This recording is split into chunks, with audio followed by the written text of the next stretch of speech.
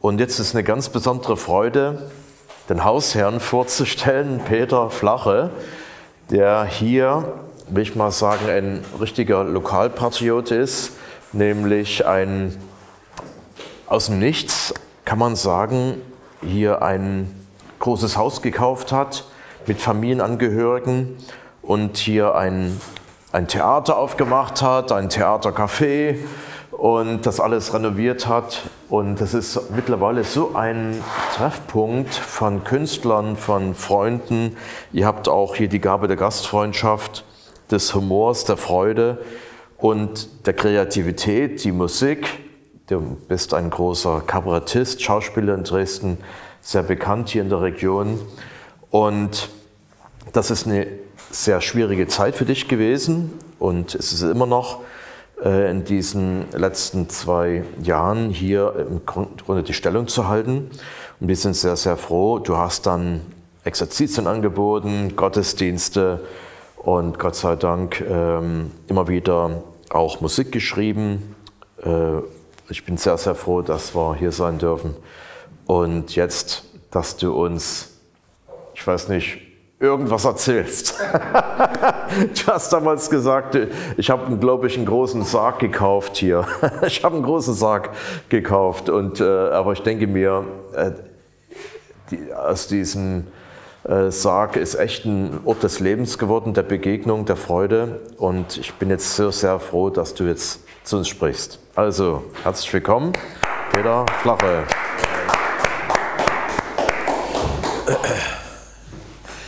So, vielen Dank für die netten einführenden Worten. Zu viel des Lobes auch übrigens, weil ähm, erstens ist es nicht so toll, wie es aussieht. Und zweitens ist es nicht mein Werk. Es ist nicht mein Werk, sondern ich, zumindest nicht allein. Ne? Also da hängt also wirklich die ganz große Familie dran, die Geschwister meiner Frau und meine Frau ganz besonders, die äh, hier im Hintergrund wirkt. Und was wären wir Männer ohne unsere Frauen? Das kannst du nie nachempfinden, aber äh, das, äh, das ist tatsächlich so. Und ich bin, ich bin jetzt auf diese Sache gar nicht so richtig vorbereitet. Ich habe, das heißt schon, ich habe mir Gedanken gemacht. Ich mache mir immer ständig irgendwelche Gedanken. Und, und ähm, was, was mein Leben hier oder was unser Leben hier in diesem Haus bedeutet und was es, was es möglicherweise für andere auch bedeuten könnte. Und wie gesagt, ich bin ja, ich bin ja Kabarettist und schreibe Gedichte für, für, fürs, fürs, fürs Radio noch und unterhalte mit diesen Gedichten mein Publikum und ich möchte ein Gedicht anfügen oder ein, einflechten jetzt. Das sind humoristische Gedichte und ich hoffe, dass es, dass es einigermaßen ankommt. Und nachher möchte ich etwas zu diesem Gedicht sagen. Die Gießkanne. Die Gießkanne hat ein Loch. Zwar hält sie das Wasser noch, doch bin beim Beet ich angekommen, ist die Hälfte schon entronnen. Die Radieschen dursten immer mehr, jedoch auf dem Weg vom Hahn hierher, da vegetiert es froh aus jeder Ritze und das trotz des Sommers Hitze. Und wisst ihr, was ich mir überlege? Ich pflanze das Gemüse auf dem Weg. So, das ist ein, ein, ein, eine, ein, Gedicht, worüber wir erstmal ein bisschen lachen müssen, weil jemand einfach die Dinge nie begreift, wie sie sein müssten. Und äh, es ist auch ein Gedicht, was irgendwie mich als Mann auch betrifft, dass ich oft die Dinge verschlampen lasse. Ihr müsstet mal in meine Werkstatt gucken.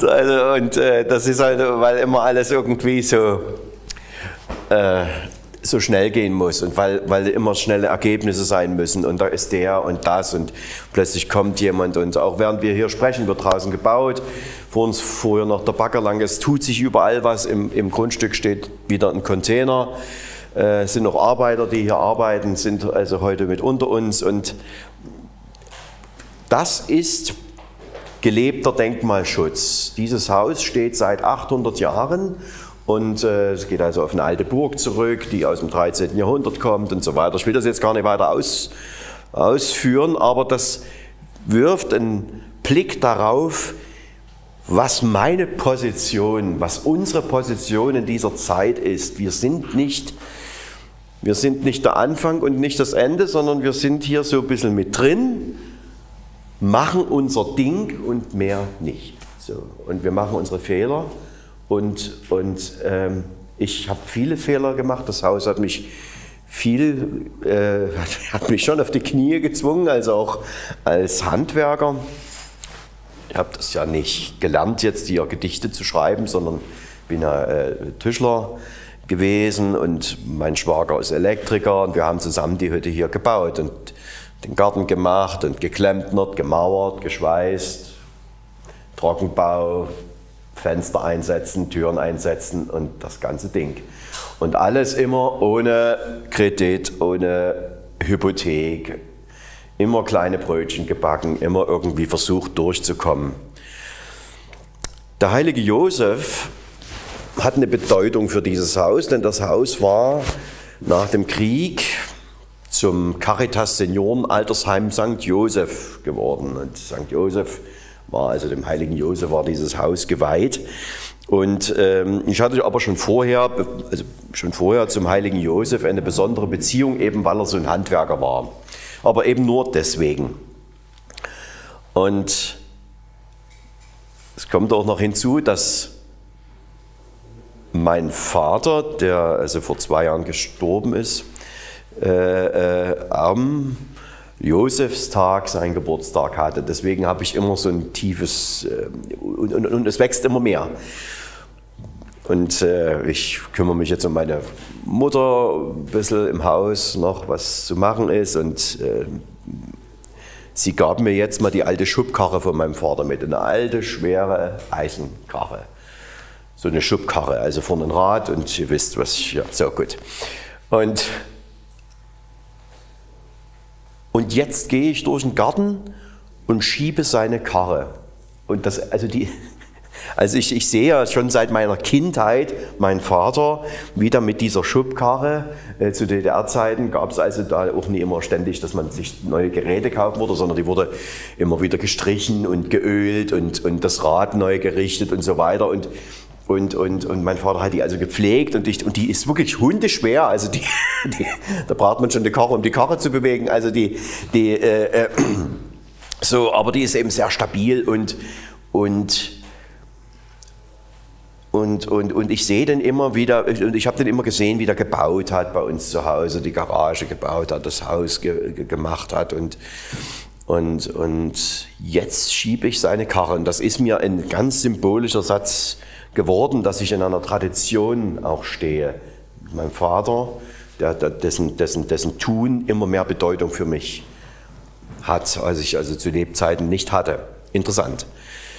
Was hat das mit dem heiligen Josef zu tun? Der heilige Josef begleitet mich immer in, meinem, in, meinen, in, meinen, in meinen handwerklichen, äh, äh, äh, wie soll ich sagen, Gleitflügen. Also wenn du bestimmte Dinge nicht vorausschauen kannst, also wie soll ich sagen, du kannst bestimmte Dinge nicht ähm, planen. Also gerade wenn du so ein altes Haus hast, fängst irgendwo ein Zimmer an, wie jetzt, wo wir den Keller hier angefangen haben, äh, haben den Beton rausgeholt, plötzlich merken wir, da ist ein alter Fußboden drunter Flusssteine hat man da hingelegt.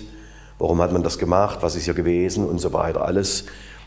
Äh, äh, und wir wollten eigentlich einen neuen Fußboden reinmachen und jetzt merken wir plötzlich, dieser alte Fußboden hat eine ganz andere Bedeutung, gibt dem Raum einen ganz neuen Charakter und dieses, dieses, dieses immer wieder neu gucken, was sagt das Haus, hat auch was mit meinem Leben zu tun, was, und, und, und äh, auf, auf, was stoße ich, für, auf was für Menschen stoße ich hier.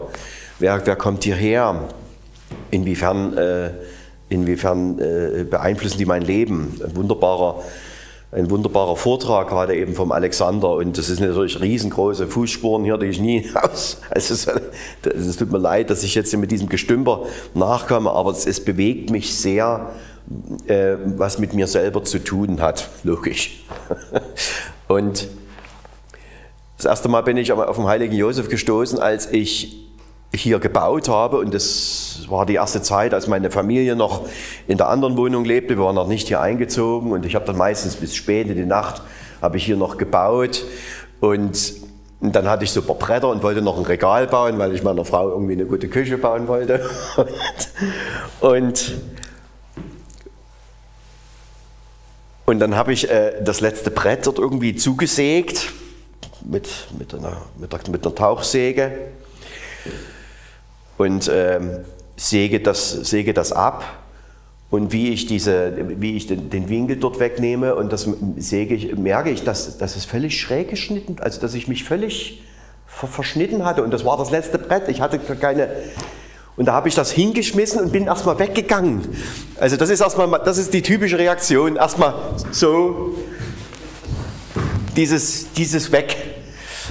Und bin ich in die Küche gegangen hab, äh, das war jetzt nicht schlimm, also ich hätte, ich hätte mir am nächsten Tag ein neues Brett kaufen können, aber du, du, manchmal da verbeißen wir uns eben und, und freuen uns auch daran, etwas Schönes fertig zu kriegen irgendwie und dann, und dann gelingt uns das nie und das, und das, äh, das, das kotzt uns irgendwie an oder das kotzt mich an jedenfalls. Und ich war dann ziemlich am Ende und dann habe ich zum heiligen Josef gebetet, ich habe gesagt, was hast du jetzt wieder hier, was hast du dir hier wieder einfallen lassen? Warum hast du, warum hast du das nicht ordentlich gemacht? Warum hast du mir nicht geholfen oder so? Wie, wie, wie, wie, was soll ich denn jetzt machen? Wie wollen wir das hinkriegen? Und dann habe ich mir in der Küche, wo ich, also da, hatte ich einen Ofen, das war kalt, so wie heute, und dort habe ich also nachgedacht, ich weiß das noch wie heute, und das mag für euch bestimmt irgendwie banal klingen. Und dann habe ich so nachgedacht, habe gesagt, jetzt schneidest du eben dort den rechten Winkel nochmal dran. Und dann ist das ein bisschen kürzer und du nimmst es an der anderen Seite raus. Vielleicht sieht es nicht. so, und, und, und bin wieder zurückgegangen an das Brett und da sehe ich den Winkel und lege den an und das stimmt genau. Stimmt genau. Das, jetzt kann es sein, ja, du hast dich gegört. Äh, als du geschnitten hast und äh, hast nie richtig geguckt, dann warst du erstmal zornig oder so, kann ja sein. Aber es war für mich so ein Wunder, es war so ein Wunder, es war so ein Ding, einfach so. Und äh, äh, äh, da bin ich aufmerksam geworden, dass also auch der heilige Josef diese kleinen, diese, diese, diese, wirklich diese, diese Sachen ordnet nicht nur die großen, sondern auch die kleinen Sachen ordnet. Und wir machen immer irgendwie ja, ja, Gottesdienste. Seit der Corona-Zeit sind sogar mehr Gottesdienste als gewöhnlich und äh, Exerzitien führen wir auch hier durch und wir machen das große Gebetsleben und sicherlich und versuchen irgendwie hier eine Art äh, äh, geistige Heimat für viele zu sein, aber das kleine Gebet, das tägliche mit hineinnehmen, in das normale Tun, wie Therese von Avila sagt, Jesus ist auch zwischen den Kochtöpfen. Das ist also das ist immer dieses so, jetzt ist hier der Rechenlogger, jetzt äh, quietscht die Karre, jetzt, äh, was machen wir hier? Äh, Josef, wie soll ich das machen? Wie soll ich das machen? Und wie, wie, wie mache ich das? Ich hatte keine Ahnung, ähm, wie viel Farbe ich brauche, als ich hier das Schloss äh, innen drin jetzt das letzte, letzte Baustelle gestrichen habe. Äh, Norbert war dabei und so und, und wir haben dort so eine riesengroße, einen riesengroßen Pott gemischt und ich hatte irgendwelche Farbe gekauft. Ich habe noch ein bisschen Zeit so.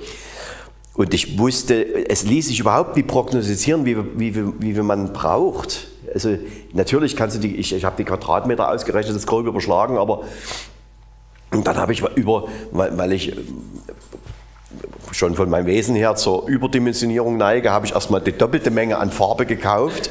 So, und, und dann habe ich das irgendwie alles, zusammen, also was auf dem Etikett stand, was, für was es hätte reichen müssen.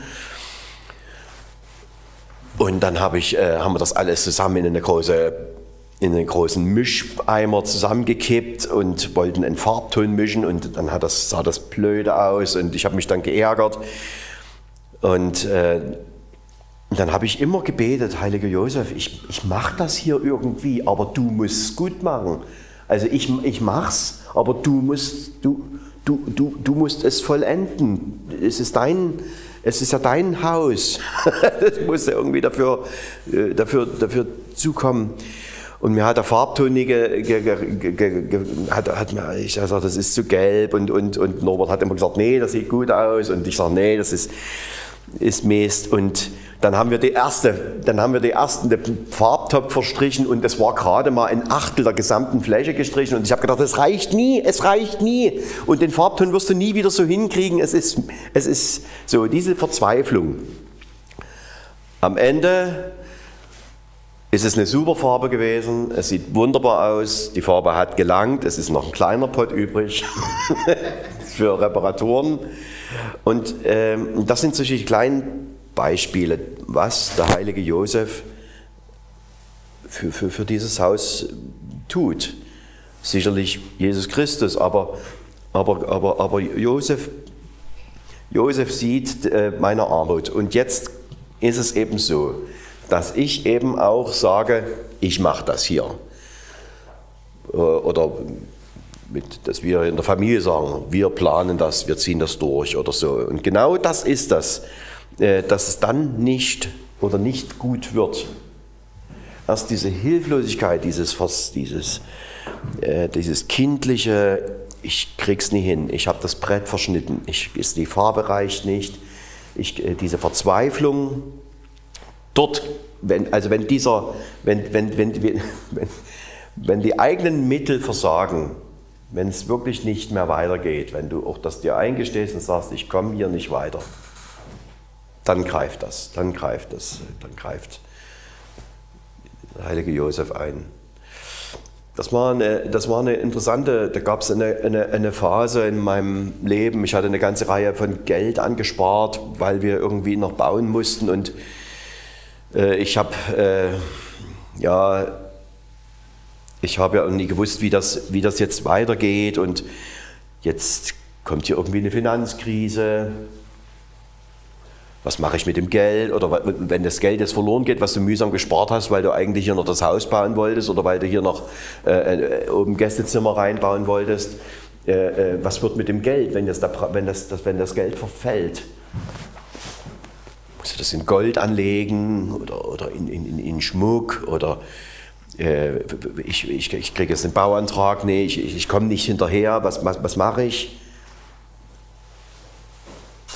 Und ich hatte dann wirklich schlaflose Nächte, weil auch Leute mir Floh ins Ohr gesetzt haben, haben gesagt, irgendwie, du musst, musst irgendwie in Wertsachen anlegen, musst irgendwie versuchen, ein, ein, das ist auch ein Fluch, aber es ist auch ein, ist eine Aufgabe. Ich hab, wir haben ja hier ein, ein, ein, großes Haus zu führen. Wir brauchen auch ein, ein Fundament, auch ein finanzielles Fundament, um hier irgendwie um irgendwie hier zu sein. Wir haben hier Fixkosten, die jeden Monat anstehen, die irgendwie zu begleichen sind. Und seit zwei Jahren bin ich praktisch äh, arbeitslos in einer gewissen Weise. Natürlich, wir wurschteln uns durch und, und es kommt schon wieder was rein, aber es ist eben nicht auf dem alten Level. Da brauchen wir gar nicht drüber reden, das ist einfach so. Es gibt gerade für die ganze Theaterbranche gibt es überhaupt keine Planungssicherheit, überhaupt nicht. Du kannst keinen Flyer drucken, keine Plakate, du kannst kein, für was, wie, wie wen. Man kann ein paar, ein paar Termine machen jetzt im Sommer, aber dann schon im Herbst, man weiß ja gar nicht, wie das weitergeht. So. Das hat uns allen ziemlich den Wind aus den Segeln genommen, die wir so in der Kulturbranche unterwegs sind. Und äh, viele Theater sind, äh, schon, sind schon am Verzweifeln, am Aufgeben, haben viele schon zugemacht. Und ich denke, das wird noch weitergehen. So. Aber das ist eben, äh, äh das ist eben diese, diese Sache, was macht das Leben mit uns? Und als diese Finanzgeschichte, das ist nun schon wieder ein halbes Jahr her, aber als diese Unruhe in mir war, als ich dann merkte, hier, du musst irgendwie zusehen, dass du irgendwie irgendwas rettest, verbuddeln, irgendwie, da habe ich dann abends gebetet, ich habe gesagt, heiliger Josef, du bist, du machst das hier. Es ist auch dein, dein Ding hier für die Familie zu sorgen und, und für, für das und, und dafür, dass das Geld nicht an Wert verliert oder, oder, oder, oder dass, dass, dass es gut bleibt. So, und selbst wenn ich das jetzt hier zu euch sage, merke ich, wie, es, wie, äh, wie, wie ich also darauf, äh, weil ich einfach auch ratlos war. So, vielleicht ist es euch auch so gegangen. Und seit dieser Zeit habe ich gesagt, okay, es ist jetzt so. Es ist, wie es ist. Und, und ich habe mich nicht weiter mehr darum dann bemüht. Und äh, lass, den, lass den Dingen jetzt seinen Lauf. Wir strengen uns an es, äh, es ist immer diese Diskrepanz, auch jetzt in dieser Zeit. Was ist jetzt, was kommt für eine Not jetzt auf uns zu? Inflation, kriege ich die Familie durch? äh, äh, wie, wie, was soll ich anbauen? Ähm, wo schütte ich noch ein bisschen Heizöl hin? Und äh, was, wie, wie, wie komme ich, komm ich hier um den Ring? Also diese, diese Angst auch diese Angst auch, und, das, und das, das, bleibt, das bleibt auch immer so, die Sorge, die wir haben für unsere Familien, für unser Umfeld, für unsere Freunde, für, unsere, für die, die uns anvertraut sind, das bleibt eben immer. Und äh, es gibt auch ein, ein und, und, und, und auch da gebe ich alles dem heiligen Josef. Ich gebe alles dem heiligen Josef und der Gottesmutter. Ich lege es ihn einfach hin. Ich habe gesagt, ihr kümmert euch. Ihr seid auch auf der Flucht gewesen, ihr habt, äh, ihr habt das alles äh, ihr habt das gemacht und trotzdem hatte Jesus trotz aller Bedrängnis, aller Armut ein nobles Leben, weil ihr nobel wart, edel wart, gut und so. Und das ist ja das, was eigentlich, was eigentlich zählt. Es gibt ein Gedicht von mir, das heißt, so ein Drachen fliegt nicht von allein, er braucht den Zwirn im Gegenwind. Auch wir wollen ständig uns befreien, doch steigen nur, wenn wir gebunden sind.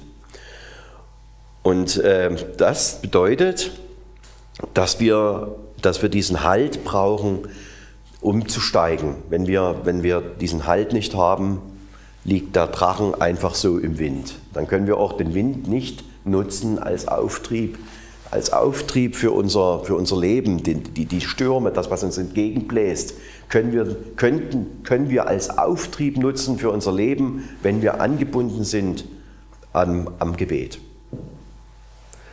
Und das ist eben dieses, und das ist eben nie bloß sich mal kurz, also das ist auch, wir haben ja eine Kapelle, eine richtige, also das ist jetzt hier die, das ist ja eigentlich der Theaterraum, äh, wo sonst also die, die, die Bühne also ist. Aber wir haben auch noch eine richtige Kapelle und äh, dort beten wir gemeinsam in der Familie, auch einzeln. Und, aber es ist eben nicht bloß dieses morgendliche, mittagsliche, abendliche Nachtgebet, sondern es ist das immerwährende, immerwährende, jeder Atemzug, jedes Stück Holz nachlegen, jedes Fenster putzen, jedes, jedes Essen zubereiten, immer das, immer dort mit reinnehmen.